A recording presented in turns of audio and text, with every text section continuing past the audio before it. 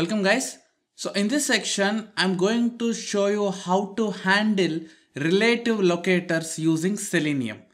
So these are the topics which are introduced from Selenium 4.0 version. So if you are working on Selenium 3.x any version, you don't have these features available, right? So from 4 they are introduced and these locators are very very friendly to identify our desired objects. So I'll show you the demo with some real-time examples on how to handle these relative locators in your code. So that way you will know how to use it whenever it is required. So this is the syntax, but at this time you really don't understand how this works. So let me take one application and then talk about this more. I am back on to my website. So there are a lot of practice projects here for us to practice. So there are three web applications exclusively available for practice and let me choose one out of three. Right. So this is one of the app, e-commerce app where you can submit and buy the products.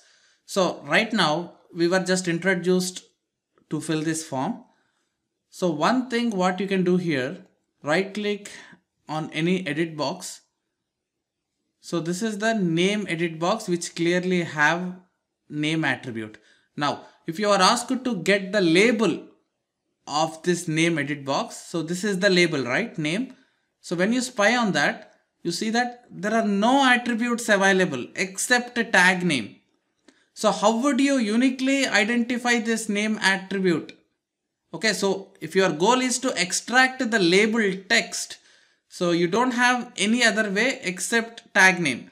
So one way what you can do is you can start uh, traversing from parent to child and build XPath. Okay, that's the one way. But using this friendly locators, which we call as relative locators, you can do it in very, very simple way.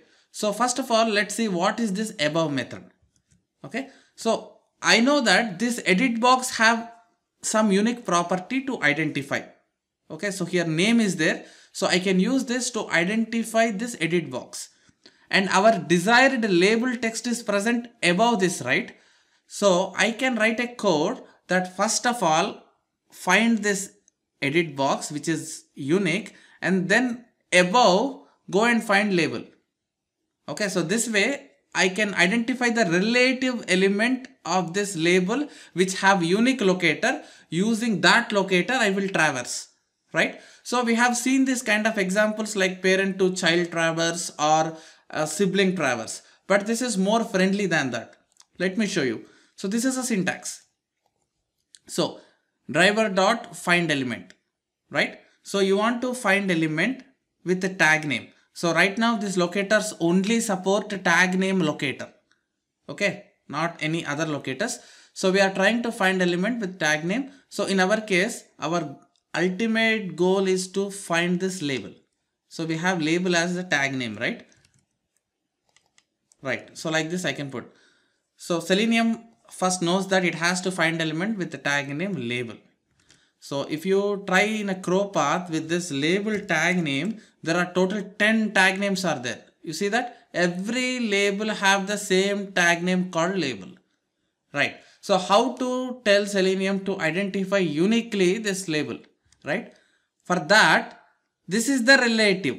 So there is a method called above and you can give what web element above this tag name is present. Okay? So this is a web element which you think it's a unique right? Let's say we will capture this web element let's say it is a name edit box. So i would write it here name edit box. So now you read this line again. Find element with the tag name label. There are many. It's confused but again, you are filtering by saying that find tag name label which is present above name edit box. So that means Selenium first of all will find name edit box. Above name edit box, it will try to find element which have tag name label. So above name edit box, you immediately will have one tag name which have label which is name. So this way you can uniquely identify it by filtering by writing relative locators like this. If it is above an, any other web element or below any other web element. Okay, this is a cool feature, right? So let me put it in practical way in Eclipse and I will show how to do that. Right, so these are the common steps to invoke Chrome browser by setting our system property and give Chrome driver exe location. Next, so this is our URL and then driver dot get. Okay. So first of all let's try to capture the web element of this name edit box. So when you spy here you have name is an attribute. So I can build CSS tag name is optional right? Attribute equals to value. Perfect. You see that? When you hover it the red element icon you are seeing. So that means it's identifying the first element. So though it is returning two elements you need not worry because your actual edit box is highlighting on first element only. Selenium by default identifies first element if there are multiple elements written. Okay? So that's why so driver dot find element by dot css selector right so this is one web element. So i will actually capture this in one variable. Say name edit box. Awesome. Now our web element is ready. Okay tab so that everything comes in aligned way. So now i would write that relative locator. So my ultimate goal is to grab this label right? Find element so here you should not use by dot tag name the syntax for relative is with tag name you can get it from the word document which I am showing here with tag name. So driver dot find element with tag name and what is the tag name? So we need to find the tag name of this label which is nothing but label only. Apart from this tag name we don't have any other information available. But if you run until this step there are a lot of labels are present. So Selenium is hard to identify your desired one. So by default, Eclipse is not providing you suggestion to import any package to fix this error. So there is a reason for this. So Selenium guys have provided this package as a static. So any static package cannot be identified with auto suggestion. Okay, so that's why it's not happening here. So Eclipse will never auto suggest you if that package is in static mode. So you have to manually write that step here. I have that package details. You just need to paste it there. So this is the package. You see that there is a word called static and they were embedded that code in this package called relative locator. So just copy this and have it in your code and that's it. The error will go away. Okay. Now find element with tag name. We are now clearly telling that this tag name Selenium should find above this edit box. So if you clearly tell this way, then Selenium will just go and find exactly on the above of that edit box to see if there are any labels present. If there are multiple labels present, it will return the first label what it sees. Okay, so in our case, there should be only one label above this, isn't it?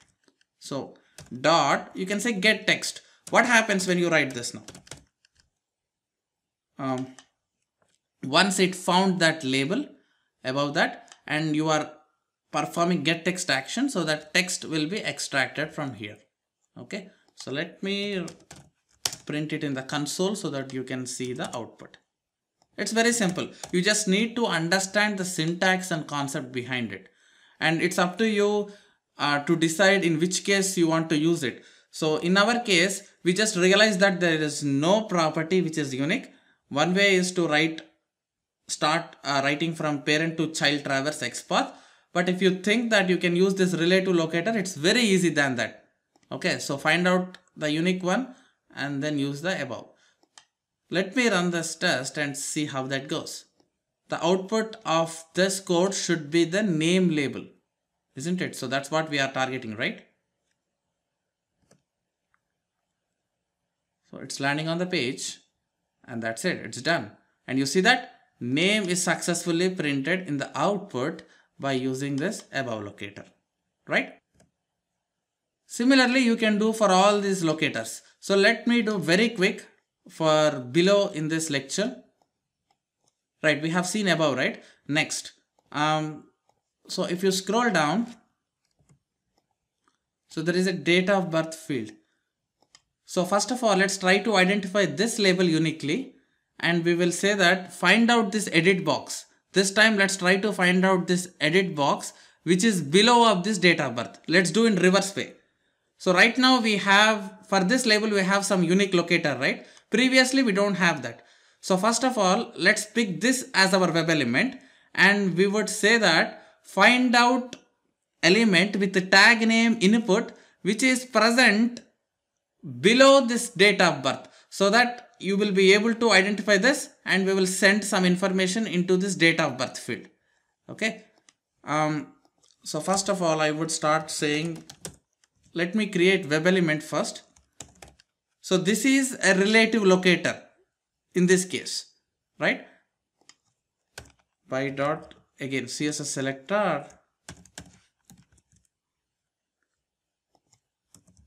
Attribute for equals to date of birth. Css basically i'm writing the css and this way you can uniquely identify this label. So this time we were just doing flipping and label is now considered as a web element and edit box is something which we are trying to figure out assuming that this edit box do not have any unique properties we can still figure out by using this label so this label have unique properties. So I would simply say um, date of birth is the web element, right? Okay. So driver dot find element with tag name. Make sure that you understand it supports only tag name for now. Okay. So tag name what we need for this edit box is input because we are trying to find out this in input and all the dates here present are not unique. Let's assume that they are not unique. So that's why we were doing it in another way. Okay. So when you give the step until here, Selenium will identify with input tags. There are a lot of input tags, but now you are writing the real logic. Once you found that input, find this input only below this data birth web element. So this data birth is nothing but this label, right? So now we are clearly telling that find out the input which is coming exactly under this below this label.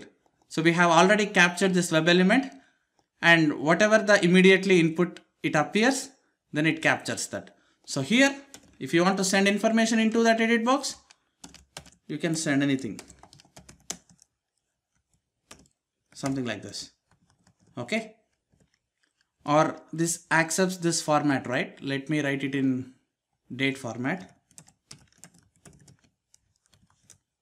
Okay so I would run this test. At this time it should identify that specific date of birth field through label relative locator which is below and it should handle accordingly you see that it's great so we have successfully handled this without writing exact locator and just relying on this below relative locator. Okay, so this is how you can use above and below relative locators in your code and play around that.